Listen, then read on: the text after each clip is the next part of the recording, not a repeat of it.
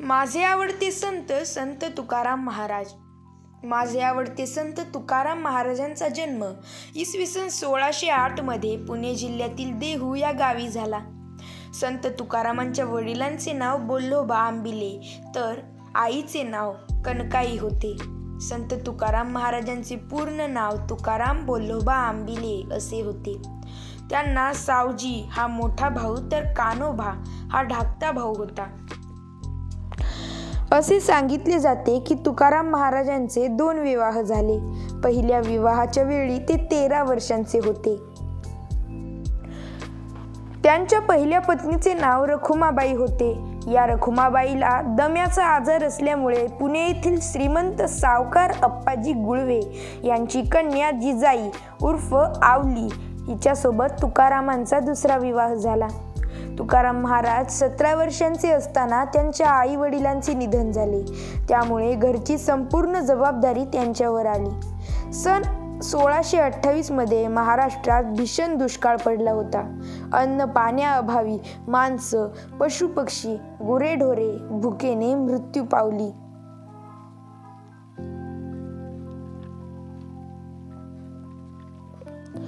त्यातच त्यांची पहिली पत्नी रखुमाबाई यांचाही मृत्यू झाला. मोठ्या मुलाचाही मृत्यू झाला. यामुळे तुकारामांच्या मनावर मोठा आघात झाला. दारिद्र्य व अपमान यामुळे तुकारामांच्या मनात असुरक्षिततेची भावना निर्माण झाली. अशा परिस्थितीत त्यांनी आपले मन प्रा परमार्थाकडे वळवले. महाराष्ट्राचे आराध्य दैवत छत्रपती शिवाजी महाराज तुकोबांना गुरु मानत संत बहिणाबाई ही तुकोबांची शिष्या होती.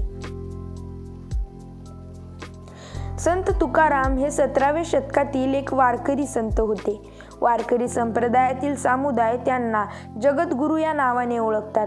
ते परखड कवी होते. पाखंडी अन्यायी पापी लोकांवर संत तुकारामांनी आपल्या अभंग वाणीतून कठोर प्रहार केले आहेत. नम्रता आणि करुणा याचे दर्शन त्यांच्या अभंगातून होते. संत तुकारामांनी सामान्यांच्या बोलीभाषेतील अभंग रचना केली. त्यांनी औपचारिक शिक्षण घेतले नसले तरीही जीवनानुभव आणि धार्मिक सामाजिक प्रथा परंपरा संबंधित सखोल चिंतन करून ज्ञानप्राप्ती केली.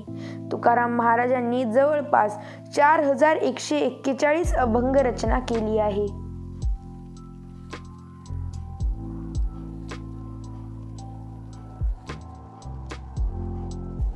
महाराष्ट्रातील लाखो लोकांमध्ये संत तुकाराम अत्यंत लोकप्रिय आहेत.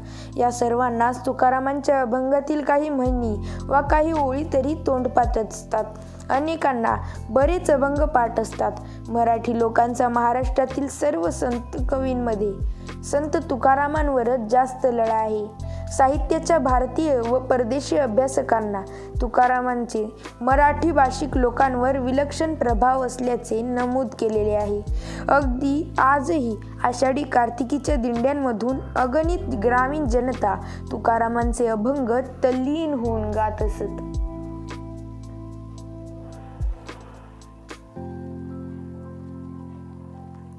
वयाची चाळीशी उलटल्यानंतर संत तुकारामांना जग सोडावे असे वाटू लागले.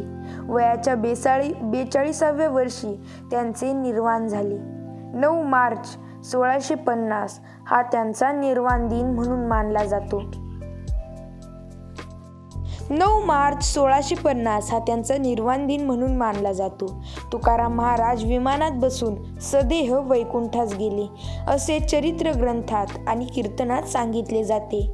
त्यांचा देहच ब्रह्मरूप बनला. त्यामुळे ते सदेह वैकुंठात गेले. असे दुसऱ्या शब्दात म्हणू शकतो.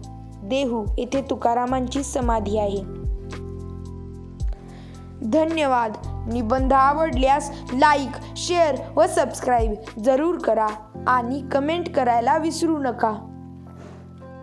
असेच नवनवीन निबंध हवे असतील तर कमेंट करून जरूर सांगा.